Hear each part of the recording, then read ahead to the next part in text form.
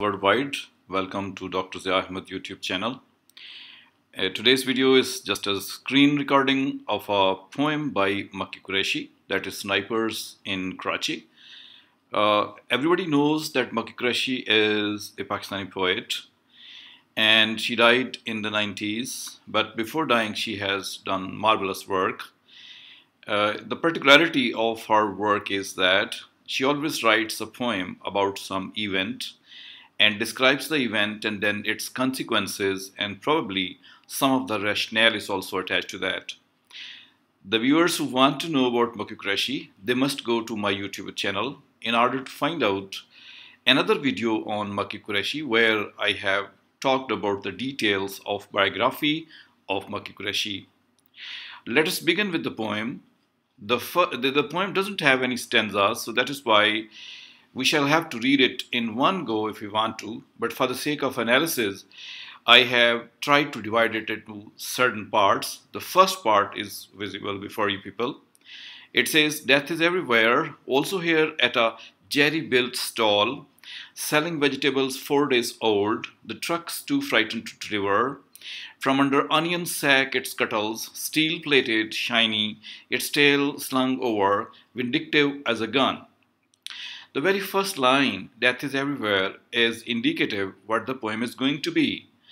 Definitely, Maki Kureshi is talking about the terribleness of death, which is coming to the innocent victims without their crime, without the problem they have generated anywhere, but death is coming up to them and it is everywhere. The universality of death, of course, is there, but it is being talked with reference to Karachi and with reference to the gunmen, the snipers, that death is coming. It can come to you everywhere, no places to be halted, to be stopped, to be hidden. Same is the case with the next line. In order to prove her point, she says, also here at Jerry built stall, death has not spared anyone, not even a stall which is built of uh, the raw material, which is not so strong, it is so flimsy, so weak. Uh, this stall is used in order to sell the vegetables, but the vegetables are at least four days old because the trucks are not supplying regularly. Trucks are also frightened, they are not supplying regularly because they are frightened because they also feel that death is everywhere. That is why the stale vegetables, unfresh vegetables are being sold. But one truck brings the vegetable, and as soon as the, the sacks of onion, the sacks of other vegetables are downloaded, out of one of the sacks one can see an object which is steel plated, which is shiny also, and its tail is slung over. It is vindicative as a gun. So a gun comes out from among the sacks and this gun is shining also. This is steel plated also and this is having its uh, slung as well, its sling as well. So the steel platedness of the gun goes to show that it is very powerful, it's very strong, it's shiny, it means it's freshly it has come there, and it looks like a gun, it is there. And it means that with the normal vegetation, that is the vegetable of onion and others, at a common place the gun is visible, it has come in the trucks. Probably somebody hid it in the vegetable and that's why the gun is there. So death and gun can be interrelated together. When we look at the title, of the poem that snipers in Karachi that it, the guns are entering and intervening into the life of Karachi people. It is everywhere. The common people and the enemies have the differences. Army and the police and the common people have the differences. Army and the common, uh, the police people may be fighting with each other on certain law enforcing matters, but the common man is not to be hit within that. Here we can see that it's a, it's a vegetable stall where the gun has been found and that is why death can be here as well. The death has been caused and everywhere therefore death has been proved that death is there. This is the relevance of the first line or the third and fourth line that we are occupying. And in the same tone if we go further we can see panic hard-boiled traders abandon shops.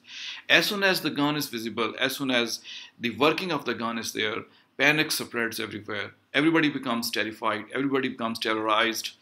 The shopkeepers, which are mostly uh, suffering from the haggling or the uh, discussion with the with the customers or they are all the time thinking of their profit or they are feeling that they, they, their business may not be running in that way.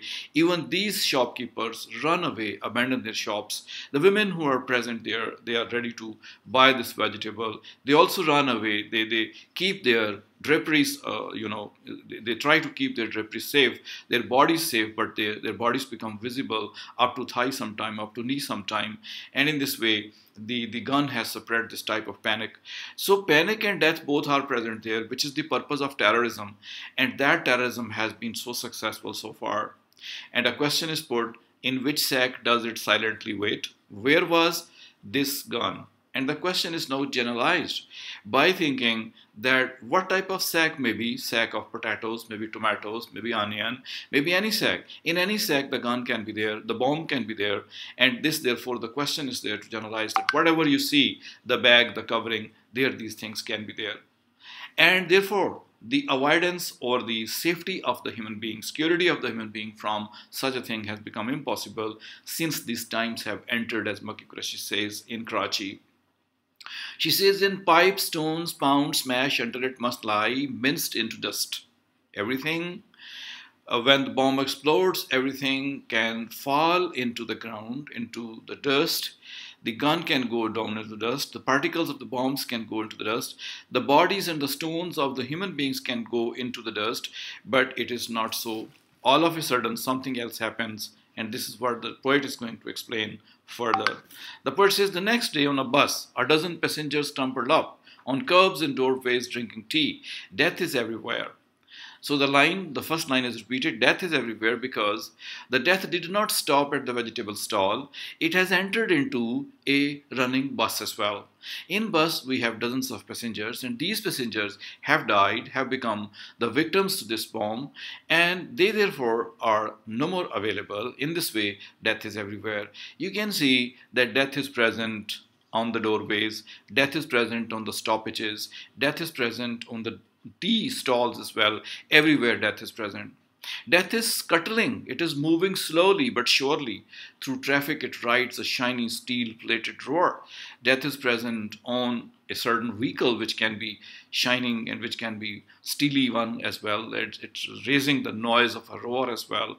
This death is everywhere. The gun now unslung and lethal as a sting.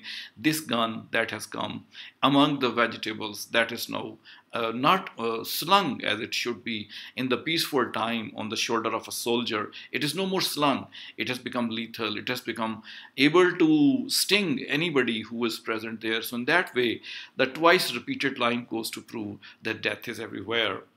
In this way, this whole poem draws a map or a picture of the situation of Karachi when terrorism was there, that common people were suffering because of that everywhere. If they were on the vegetable stalls or any other buying markets, they could be the victim of that gun. And men and women, all, everybody would be the victim of that. And it should end, the suffering of one person should end, but it does not because death is spreading its wings everywhere because of the weapon system, because of the weapons and guns which have come. Death is riding on the roads of Karachi, but nobody is safe from that. So that is why the poetess says that death is everywhere. Let's talk a few things about the poem. The poem, as I said, does not have any stanza formation. It does not have any rhyme scheme. However, we can say that there are 22 lines uh, as a whole in the poem. With respect to these lines, it's not that long poem. It describes about an event, not one event, rather we should say, it talks about two events and these one happens on the uh, vegetable stall and the other in the bus. These two events have been talked about. Both of these events have resulted into death, terror and fear. The people who die, they suffer from death, but the people who survive, they have a strong fear and terrorism is all the time in the minds of those people. This is probably the theme of the whole of the poem. As different words, I have tried to capital uh, put them into bold form so that you can have an imagination that this type of theme is possibly present in the poem. And the message of the poem is that humanity is suffering all the time. When the people fight with each other, the armies fight with each other, kings and dictators fight with each other, civilization dies and it remains under threat. All the progress of humanity with respect to culture and civilization and making the life peaceful of love of life that all finishes when such things happen and only thing that comes in the share of humanity is the suffering. Overall, the poem has a very simple language, but it's a very powerful language because it conveys a very powerful image of the terror, of threat, of the fear of the people who are suffering from that. It doesn't talk about the armies and the police, it talks about the common people that we are suffering.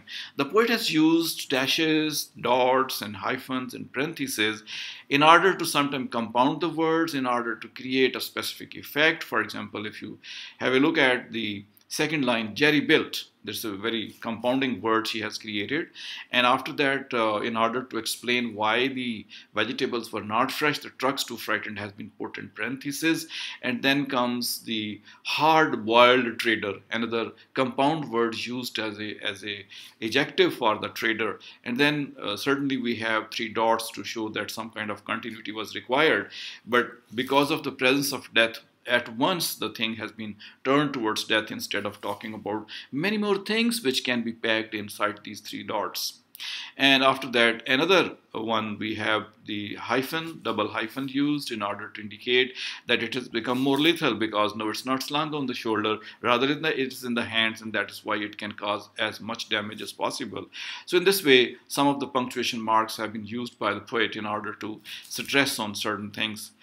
Uh, the techniques of compound words have also been indicated. Uh, the image which uh, uh which the poem creates is that the lifeless image, first of all, of the of the gun, of the bomb is present there. But then the same bomb and the same gun becomes full of life. And as a result, it destroys life also. It means that the destruction is packed inside that lifeless gun, and that destruction can be spread on human beings. So lifeless object can kill life-full objects or the human beings at the very one. The poem goes to talk about Pakistani history, the violent history which was present during the 80s and 90s, 90s when Pakistan Pakistan was suffering from the evil of terrorism and the gun culture and the other kind of things which were happening, all creating difficulties for humanity and as a whole creating a history for Pakistan from where we needed to learn, but so far we have not. The poem is written in the context of Pakistani nation and people, that their country was created of course in the name of peace and in the name of God, but it also caused a lot of trouble for humanity, suffering for humanity. The same thing continues to be there because of the international politics and because of international conspiracies that Pakistani people are still suffering. We need to learn out of that because what we get at the end of the day is death and suffering for us people, nothing else. So that is why the message of the poet is quite clear in this poem that we need to learn. The student, for students, there is one advice that when they write critical appreciation, they must write first of all the theme and the para, uh, type of uh, message of the poem first of all that how does it convey? Then the students can go for writing a few things about the life biography of Maki Kureshi and the context of Karachi with respect to terrorism they must write. After that the poem may be analyzed with respect to the words which I have put in bold format and then some of the technicalities of the poem may be discussed as given below. Uh, in that way you can give a very uh, you know powerful critical appreciation of the poem you must not forget to relate it with the situation in which this poem is created. It is according to the age, it is according to the problem which the age was having when Maki Kureshi was alive and living in Karachi. She has written that. So, a, a disturbed, terrorized, and fearful Karachi, full of deaths, that has been indicated here. And this is of course with reference to the age in which this, uh, this poem is being written. So that is why these things students must be including in order to write the critical appreciation of this poem.